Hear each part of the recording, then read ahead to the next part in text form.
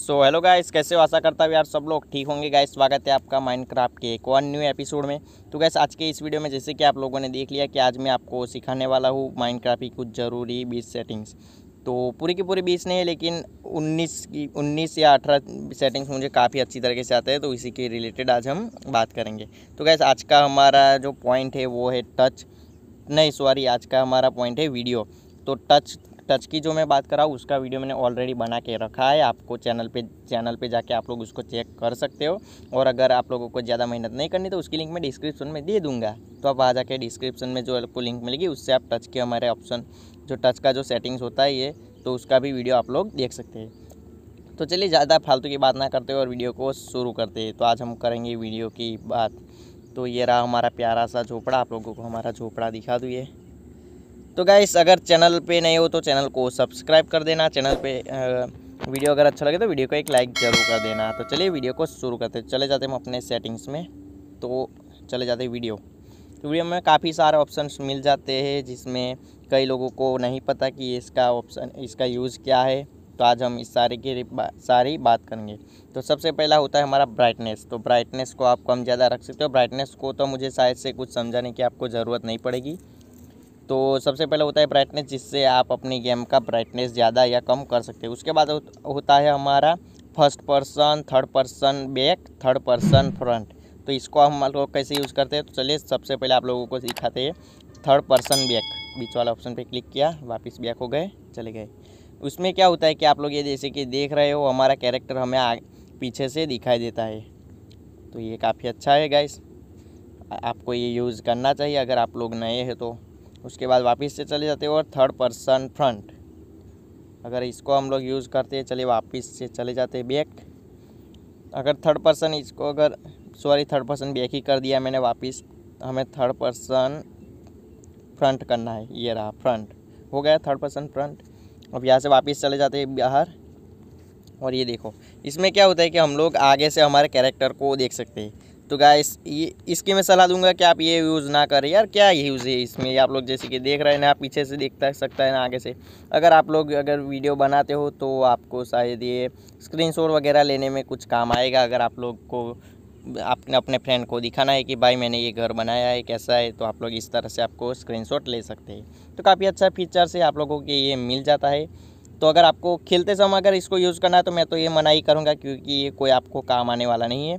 आपको अगर काम आ सकता है तो वो है हमारा फ़र्स्ट पर्सन और थर्ड पर्सन भी तो ये दो आपको यूज़ आ सकते हैं। तो मैं तो अभी रखता हूँ फ़र्स्ट पर्सन है उसके बाद होता है हाइड हैंड तो इससे क्या होता है कि चलिए, हमारे हाथ में अभी अभी यहाँ पे तलवार है, आप लोगों को दिखाई दे रही है। तो ये तलवार जो कि हम लोग वर्क करें जिससे हम माइनिंग करते हैं। तो चले जाते हम उसको कर देते ऑफ़ समझ गए होंगे गाइस अगर हम इसको हाइड कर देंगे तो हमारी जो तलवार है वो हमें नहीं देखेगी। वर्क करेगी, लेकिन हमें कुछ, हमारा हैंड नहीं देखेंगे। काफ़ी सारा ये चेंजेस हो जाता है।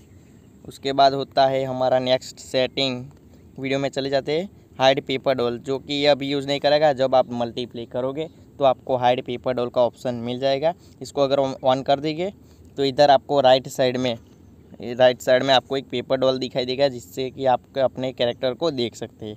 तो ये अगर आप माइंड अगर माइंड क्राफ्ट को मल्टीप्ले में खेलेंगे तो आपको वो नज़र आ जाएगी। अगर आप लोगों को नहीं पता मल्टीप्ले में कैसे करते हैं एंड्रॉयड में तो उसका वीडियो आपको हमारे चैनल पेज पे मिल जाएँगे। तो इसकी भी लिंक मैं अपनी डिस्क्रिप्शन में डाल दूँगा, आप वहाँ जाके इसको देख सकते हैं। बराबर?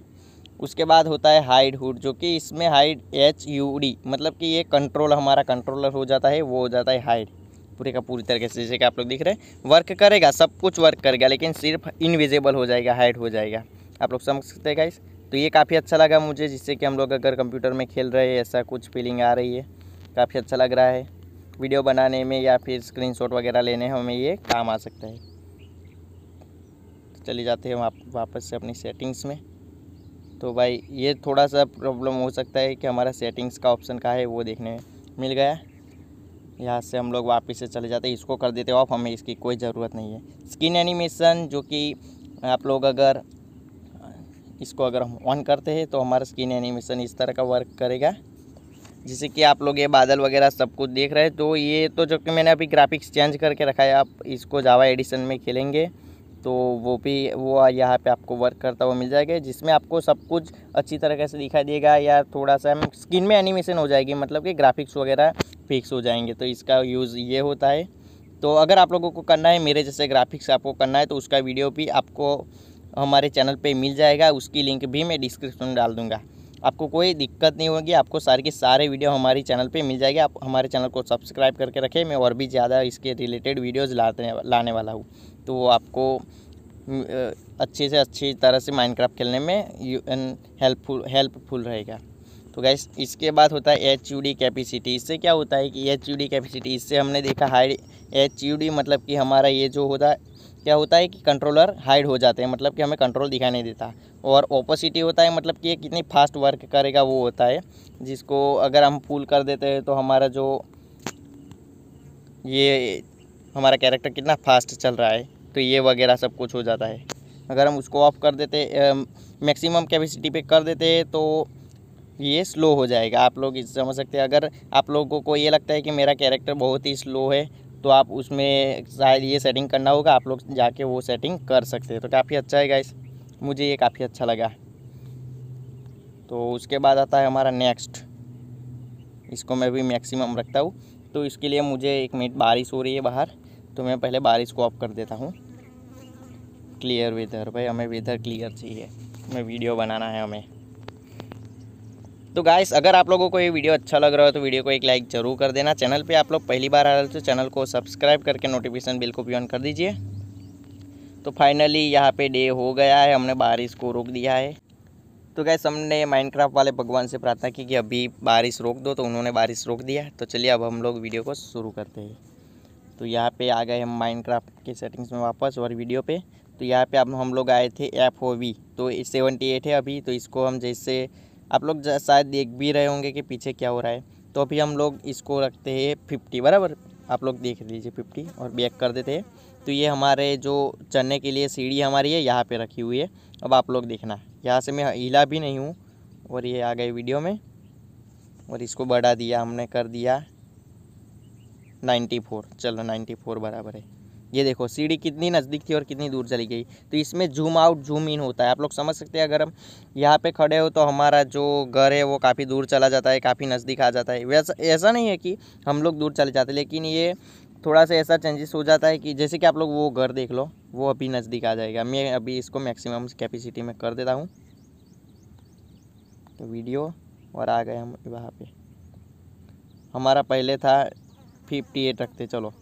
ये देखो कितना नज़दीक आ गया, कितना दूर था। तो गैस ये इसमें होता है, दूर नज़दीक ये ग्राफिक्स वगैरह को हमें मेंटेन करता है। तो काफ़ी अच्छा सेटिंग्स है, वो आपको यूज़ करना चाहिए अगर आप लोग माइंड खेलते उसके बाद होता है सो ऑटो सेव आइकॉन तो ये तो मुझे पता नहीं गैस हमें, क्योंकि हमें यहाँ पे ऑलरेडी ऑटो सेव का आइकॉन दिखा ही नहीं देता।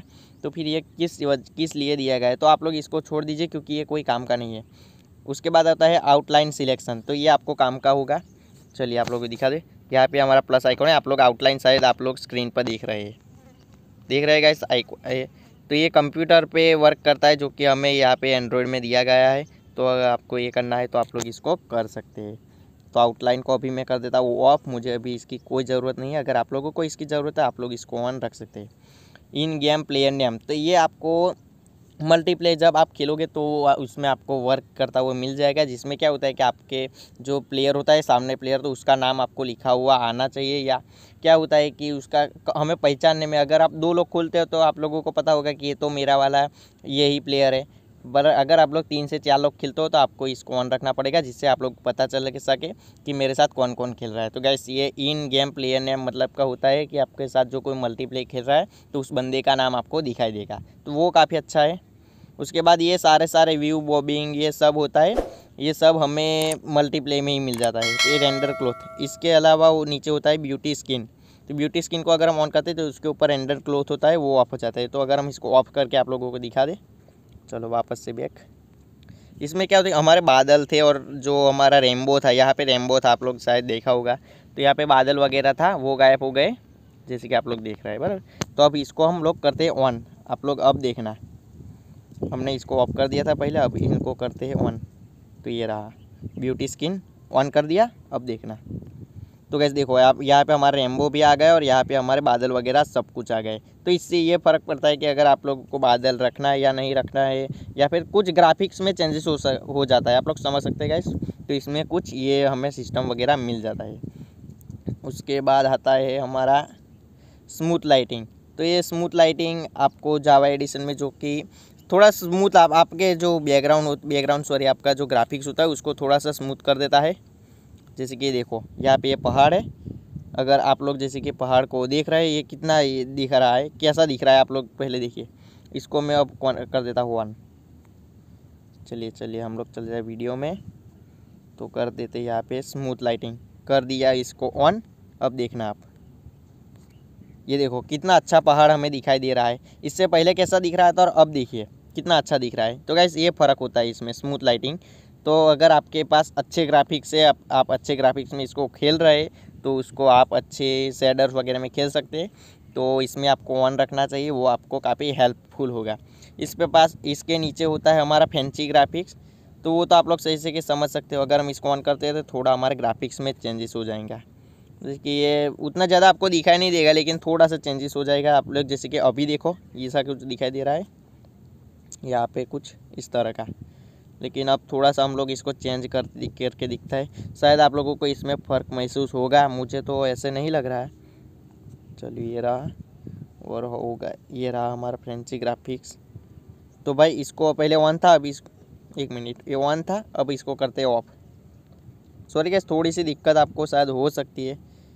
तो इसमें ये थोड़ी सी प्रॉब्लम हो रही है गाइस आप लोग जैसे कि देख रहे हैं। शायद से मेरा हाई ग्राफिक है, इसी वजह से, इसी वजह से मुझे शायद इसमें कुछ प्रॉब्लम आ सकती है। लेकिन आप अगर अपने पुराने ग्राफिक्स में खेल रहे हो, जैसे कि जो हमारा माइनक्राफ्ट गेम के साथ आता है तो उसमें आपको कोई दिक्कत नहीं होगी। तो काफ़ी अच्छा है गाइस वो आप यूज़ कर सकते हैं। पची उसके बाद होता है F O V can be added by game play तो इसको अगर आप लोग यूज़ करेंगे तो चलिए अभी इसको ये ऑन है, अभी हम लोग कर देते इसको ऑफ़ ये देखो, ये रहा हमारा घर। अभी इस तरह का ऐसा दिख रहा है कितनी दूरी पे वो आप लोग देख लीजिए, उसके बाद चले जाते वापस हम सेटिंग में। वीडियो में आए। और भाई, ये रहा, इसको कर दिया ऑन ये F O V can be तो ये गाइस मुझे शायद से लग रहा है ये इसके, क्या है? एक मिनट आप लोगों को ये दिखा दी। यहाँ पे देखो, ये नीचे आपको शेडो दिखा दे रहा है। यहाँ पे शायद मुझे ऐसा लग रहा है कि ये शेडो के लिए है। एफ़ ओ इसको ऑफ़ कर दिया। देखो शेडो चले गया। एक मिनट, बारिश हो गया है गाइस ये थोड़ी सी प्रॉब्लम हो सकती है आप लोगों को सॉरी क्योंकि ये माइनक्राफ्ट में बारी बारी से बारिश वगैरह होती रहती है तो हमें थोड़ी सी दिक्कत वगैरह यहाँ पे हो सकती है। तो गाइस इसमें ये थोड़ी सी प्रॉब्लम हो रही है, आप लोग थोड़ा सा प्लीज़ इसको इतना सहन कीजिए। चलो वापस से हो गया।